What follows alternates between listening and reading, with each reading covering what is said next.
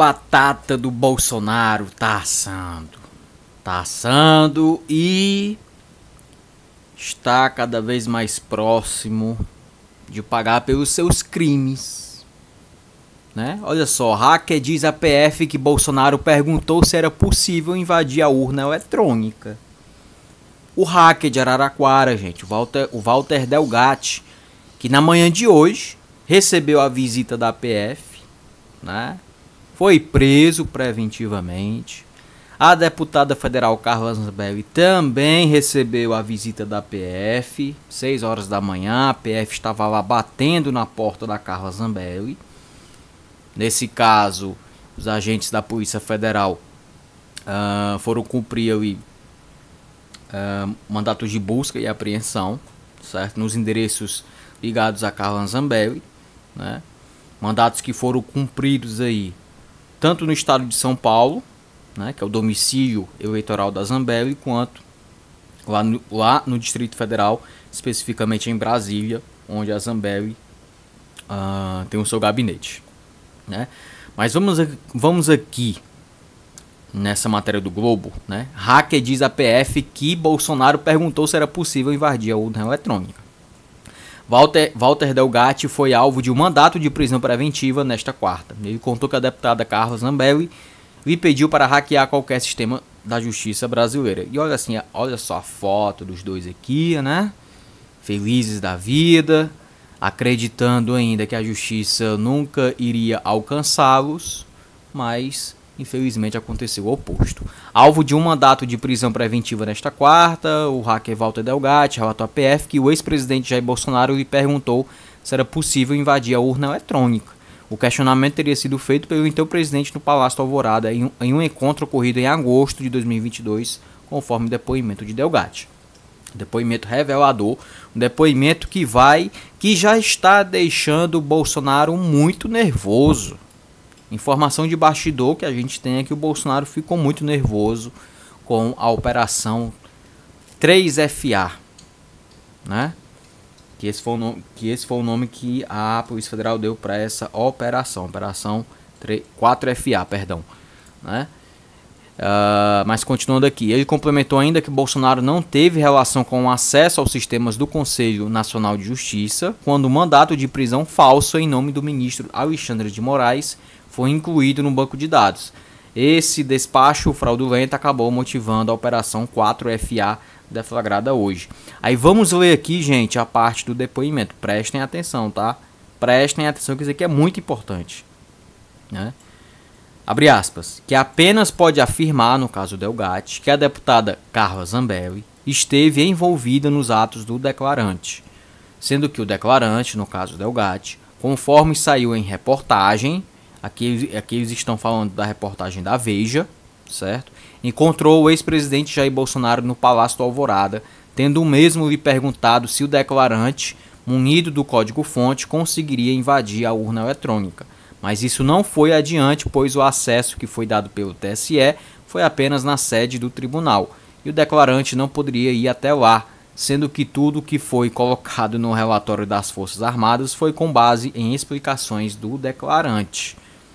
Então, só, então olhem só, até as Forças Armadas aqui, de algum modo, estão envolvidas nessa trama golpista do Bolsonaro com esse hacker e com a Carla Zambelli, né? Delgatti e a deputada Carla Zambelli são os dois principais investigados da operação. A parlamentar foi alvo de mandato de busca e apreensão, enquanto Delgatti foi preso preventivamente. As invasões no sistema do Conselho Nacional de Justiça ocorreram entre os dias 4 e 6 de janeiro de 2023, quando foram inseridos 11 alvarás de soltura de pessoas presas por diferentes delitos. Então, olha só, gente, a extrema-direita se mobilizando para soltar criminoso. Né? Mas espera aí, bandido bom não é bandido morto, segundo vocês? Né? E agora nós estamos aqui vendo, segundo as investigações, né? Zambelli e Delgatti tentando soltar criminosos da cadeia além do despacho em desfavor de Moraes.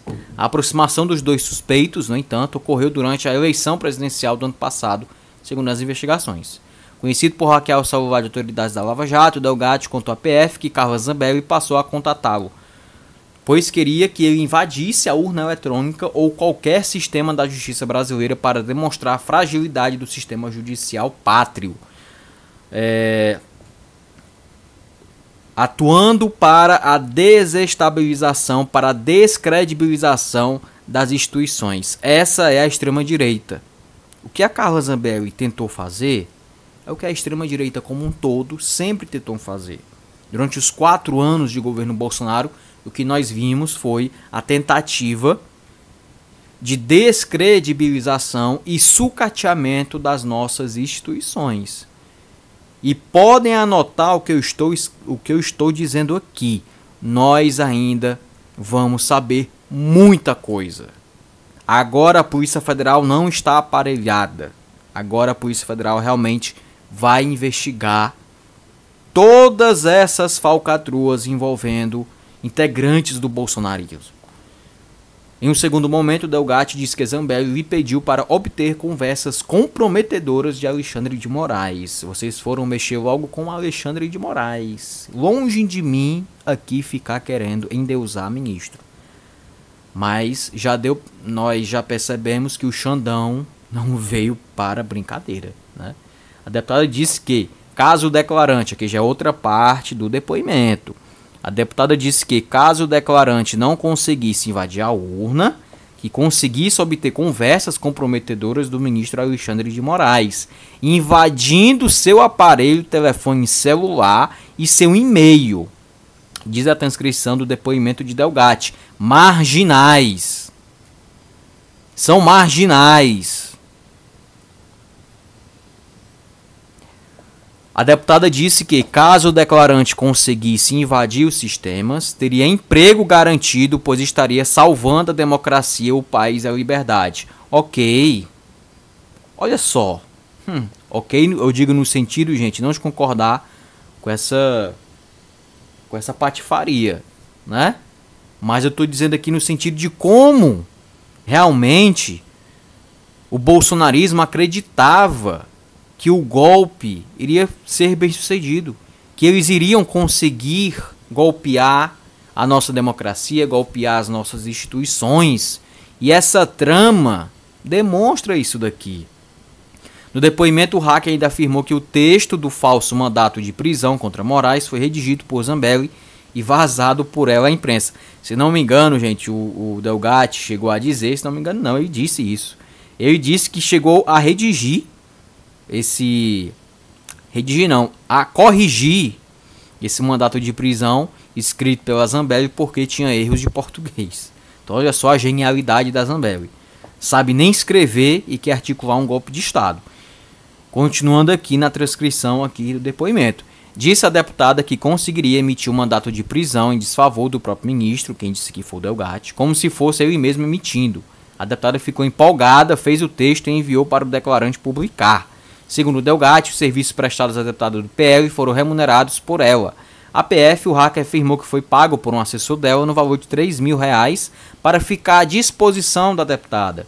Delgatti também entregou os extratos bancários da sua empresa, Delgatti Desenvolvimento de Sistemas, aos investigadores, que constaram um repasse total de R$ 13.500 pagos por dois servidores de Zambelli.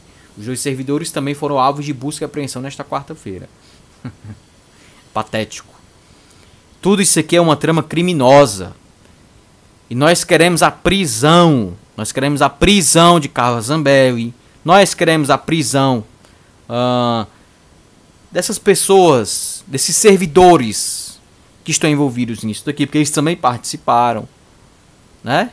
De forma indireta, mas participaram, concordaram em pagar o Delgate.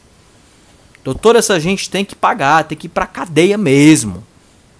Né? A gente tem que pedir a prisão dessas pessoas. E eu tenho certeza, e agora eu tenho mais certeza ainda que a Zambelli vai ser jogada ao mar ela vai ter o seu mandato cassado. E depois disso, ninguém mais vai se lembrar quem foi Carla Zambelli, porque vamos lembrar que Carla Zambelli Carla Zambelli foi é, abandonada pelo bolsonarismo. Porque vamos lembrar, Zambelli é aquela pistoleira que correu atrás de um jornalista negro pelas ruas de São Paulo na véspera da eleição. Então, para o bolsonarismo, a grande responsável pela derrota do inelegível foi a Carla Zambelli. E ela está sendo renegada pelo bolsonarismo. Então, nos próximos capítulos, nós vamos ver Zambelli sendo fritada, sendo jogada ao mar, inclusive pelos próprios aliados. Porque não pensem vocês que o PL, por exemplo, o partido do Bolsonaro, vai, uh, vai gastar capital político pela Zambelli. Esqueçam isso. Né? Mas, gente, a Zambelli falou sobre sobre esse a operação, né? A operação. E diferentemente das outras vezes que a gente vê a Zambelli com um ar de superioridade, um ar de boçalidade, agora nós estamos vendo a Zambelli, né? Com uma cara de pânico, com cara de medo, né? Porque ela sabe que a batata dela está assando e que ela vai perder o seu mandato. Mas vamos aqui ver, estou pegando aqui da Globo News, o momento que a Zambelli fala sobre a operação de hoje. Vamos ver aqui esse trechinho. De vocês, ele foi conhecer o presidente Bolsonaro porque disse ele que teria muitas informações sobre tecnologia. A conversa foi privada mas a, a pergunta que, que, que o presidente fez foi se as urnas eram confiáveis. E ele, respondeu que nenhum sistema tecnológico é confiável. A partir dali, não houve mais qualquer contato com o presidente Bolsonaro. É mentira o que disseram a respeito da, do telefone, que eu teria colocado um chip novo e etc. É, é, nunca fiz isso, nunca liguei para o presidente Bolsonaro para falar sobre qualquer tipo de assunto relacionado a isso. Sabido de vocês, ele foi conhecer o presidente Bolsonaro. Tá tentando livrar a cara do Bolsonaro, né? Porque ela sabe que se entregar ao Bolsonaro, ela sabe que tem é, vai ter muitos problemas com a extrema-direita se ela entregar o Bolsonaro. Então aqui ela está livrando a cara do Bolsonaro. Mas só quem vai realmente descobrir se o Bolsonaro estava envolvido nessa trama, e eu acho que ele estava. Porque o que é que explica, por exemplo, gente, o presidente da República receber um hacker criminoso que já tinha sido preso por falsificação de documento, que já tinha é, uma ficha corrida né, um pouco extensa. O que, que leva um presidente da República a receber um criminoso dentro do Palácio do Planalto? Né? Então a gente vai ter que aguardar os próximos capítulos. Eu espero que a Zambelli seja caçada. É o mínimo que pode que precisa acontecer. Né? Nós sabemos que ela é o lado mais fraco dessa corda aí da extrema direita, mas ela tem que perder o mandato. Sem dúvidas nenhuma. Né? E o Bolsonaro que vai ser investigado, né? E nós esperamos aí que que esta cidadã tenha o seu mandato cassado, que este cidadão aqui, cidadão não, criminoso, né? Que esse criminoso continue na cadeia, que ele faça uma delação premiada. Nós estamos aguardando isso, que ele faça uma delação premiada. Uh, até onde a gente sabe, a defesa do Delgatti quer que ele faça uma delação premiada e nessa delação premiada ele pode sim entregar o Bolsonaro. Ele pode entregar o Bolsonaro, pode complicar ainda mais a vida do Bolsonaro.